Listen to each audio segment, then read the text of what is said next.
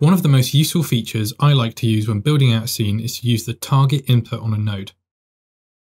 We can easily access this by adding a null and connecting it to the target node input. Now, wherever this null is moved, this area light is going to follow this null. And vice versa, wherever I move this area light, it will also follow the null. This is really useful, but it's not just limited to lights or cameras. Another option we have is to connect it to any piece of geometry. If I double click on this shape 3D, I can see a list of all the available inputs, and one of them is the target node input. By directly connecting to it, you can see that this shape is now targeting this object. And wherever I move the null, it will continue to target, and so will the light.